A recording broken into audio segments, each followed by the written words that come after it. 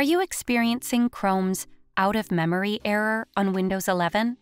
In this video, we'll present several solutions. First up, close unnecessary tabs in Google Chrome. Each tab consumes hundreds of megabytes of RAM. Closing the tabs you haven't used should help resolve the issue. Next, clearing Chrome's cache can help alleviate this error.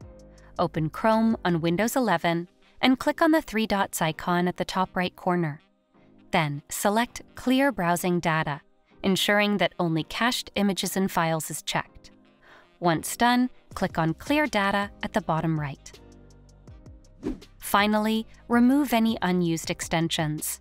Simply open Chrome and click on the three-dot icon at the upper right corner. Then select Extensions, followed by Manage Extensions.